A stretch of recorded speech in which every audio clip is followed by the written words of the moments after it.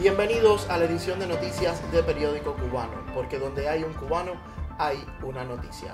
Yo soy Carlos Armando Cabrera y estos son los titulares de hoy. Elimina Cuba el aislamiento obligatorio para viajeros vacunados. Panamá paga 2 millones de dólares por servicios médicos cubanos. Familia cubana juzgada por supuesto delito de amenaza. Grandes cadenas de mercados realizan importante anuncio a sus consumidores en Miami. A raíz de una declaración emitida por funcionarios del Ministerio de Salud Pública de Cuba, muchos son los comentarios suscitados en las redes sociales donde dan a entender que en las próximas semanas el país podría modificar sus protocolos sanitarios como parte de una actualización del estado de la pandemia en Cuba y en el mundo. Estos cambios podrían significar el fin del aislamiento obligatorio para viajeros que arriben a la isla y demuestren estar vacunados contra el coronavirus. El posible cambio en el protocolo sanitario pondría fin a la realización de una prueba PCR y con ello un aumento de las frecuencias de vuelos internacionales hacia el aeropuerto de La Habana, que se ha mantenido en niveles mínimos desde el pasado 6 de febrero.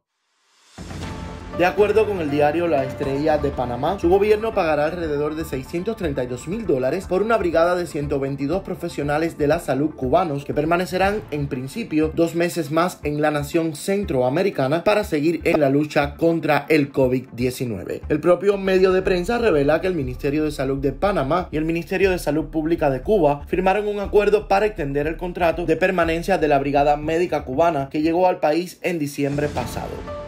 El gobierno cubano procede judicialmente a la familia Miranda Leiva en la provincia de Holguín por su activismo a favor de los derechos humanos. Los integrantes de esta familia militan en la Unión Patriótica de Cuba y en el Comando Olegario Charlotte Pileta. Ellos aseguraron que si son encarcelados y los niños separados de su madre, iniciarán una huelga de hambre para morir con dignidad ante el abuso de poder del régimen castrista.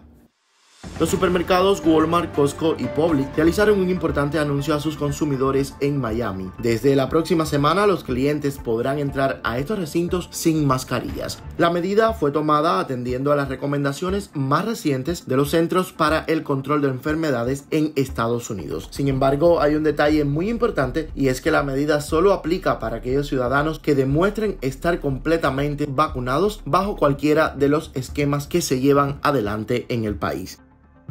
Recuerde que somos el medio más auténtico que muestra la realidad de Cuba.